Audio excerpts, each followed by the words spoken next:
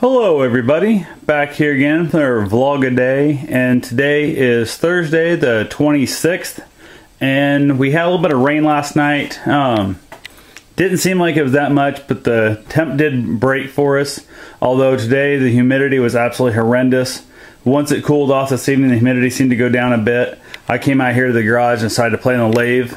Um, I had a hard time. I was really wanting just to head back in. It's about 1.30 in the morning, so technically I guess it's Friday. Um, just said to heck with it. Decided to go ahead and clean my lathe up. I, a lot of times after I get done with a project, I'll wait, do it the next day. But I know tomorrow I've got a couple things I'm hoping to go do. And with the heat coming again tomorrow, I figured I wouldn't want to be out here cleaning up. So it's cool enough this evening. I thought I'd go ahead and say to heck with it. What I ended up making on the lathe today was four um, little feet to put on a DVD shelf that I'm building for a friend of mine. And not something they were wanting, just something I thought would kind of make it stand out a little bit nicer. Fred say to heck with it and go ahead and put them on there. Um, I don't know. I didn't know what I wanted from the wood. Started turning it. Let the wood kind of talk to myself, talk to me what it wanted. That's what it came up with. The other problem I have is I went to head back inside, um, and over here, not sure if you'll be able to see much or not. It's kind of dark, but uh, well, I can show you on this side, I guess. My garage door the bracket right up top here that holds, you can see it's cracked there. The other side, the um, bolts ripped completely out of the wood and the whole top piece over there actually had fallen back down. It's a pain in the butt. Um, couldn't get it to close. It was just, I bet I spent 45 minutes to an hour out here working on this damn thing. Um, I was ready to head inside, just absolute mess. I went through and tightened up all the bolts in every one of these. Half of them are stripped out. This door is extremely old, extremely rotten. I need to get a new door on it. And every one of the bolts right here by the seam is rotted out and it just spins. Every on outsides are given actually enough grip. They're pulling the wood, yeah, there's enough wood there. So I've known for quite a while I need to put a new door on here. I've just been kind of dragging my feet and dragging my feet. Um, might be time to do it. This is a double door for like pulling into like two car garage. I'll never pull two cars in here and I would like to have a little bit deeper space on the sides maybe.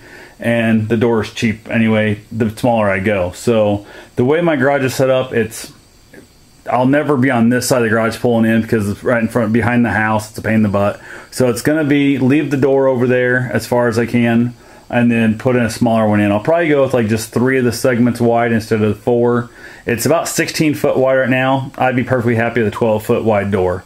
Um, I don't want to go with an eight foot wide door. I know they'll like an eight, eight and a half foot.